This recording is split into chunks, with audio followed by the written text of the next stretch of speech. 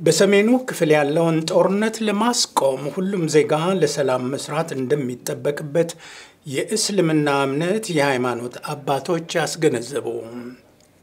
ሀገሪቱ ላይ የተጋረጠው ፈተና ታልፎ ወደ ሰላም እስክትመለስ መተባበርና መተጋገዝ ያስፈልጋል ነው ያሉት። የሀገሪቱን ሰላም የማይፈልጉ የውጭ ሀገራት አንዳንድ አካላት ሀገሪቱን ለማመስ እየሞከሩ ያሉበት ሁኔታ ጥሩ እንዳልሆነ ተናግረዋል። በሰሜኑ ክፍላችን ያለውን የወንድማማችነት ጦርነት አላህ ሱብሓነሁ ወተዓላ እንዲያነሳውና እነዚህም ሰዎች ደግሞ አላህ ሱብሓነሁ ወተዓላ በመገሰጫው እንዲገስጻቸው ከኢትዮጵያ ሕዝብ ላይ እጃቸውን እንዲያነሱ በዚህ አጋጣሚ መናገር እፈልጋለሁ። እስላም ማለት ሰላም ነው።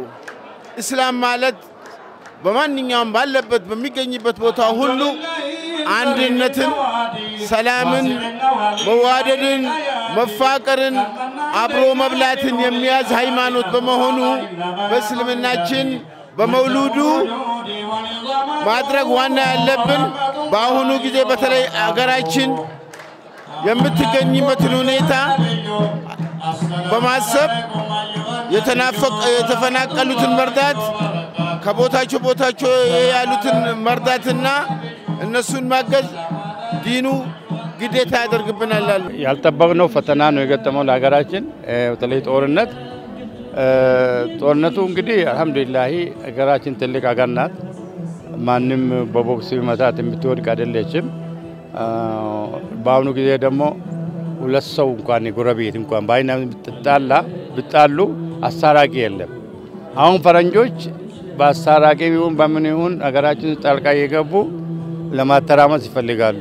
ይህንን አልሐምዱሊላሂ ሀገራችን እየተቋቋመ ነው። በዜጎች ድጋፍና እገዛ የተገነቡ መሰረተ ልማቶችን ማውደም ተገቢ እንዳልሆነ የገለጹት የሃይማኖት አባቶች ይህ ድርጊት የሚፈጽሙ አካላት ማቆም ይኖርባቸዋል።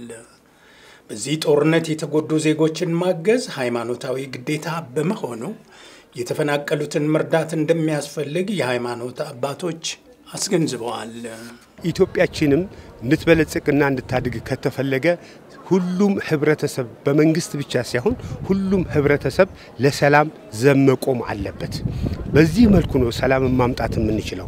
ስለዚህ ሁሉም ህብረተሰብ ለሰላም ሰላም መቆም አለበት፣ ለሰላም ማወጅ አለበት፣ ለሰላም መስራት አለበት ብዬ ሀሳብ መስጠት እፈልጋለሁ። በህዝቡ በህዝቡ መስዋዕትነት በህዝቡ ተሳትፎ የተሰሩ ትምህርት ቤቶች ማፍረስ። ስለዚህ ተው፣ አላህን ፍሩ። አላህ ሱብሓነሁ ወተዓላ በቁርአን እንደተናገረው ወሱልሑ ኸይር ነው። ከምንም በላይ ሱልሕ በጣም ኸይርና በጎ ነገር ነው ማለት ነው። ችግር ታለ በህግ አግባብ ችግራቸውን መፍታት አለባቸው። ይሄ ተገቢ አይደለም። ተው፣ አላህን ፍሩ፣ ካሊቃችሁን ፍሩ። ምንም ነገር ሊደረግ አይቻልም። በዚህ ጦርነት የተፈናቀሉትን መርዳት የግድ የሃይማኖት ትዕዛዝ ነው። ነገም እኔ ላይ ቢደርስ የሚለውን መርሆ በመቀበል ነው።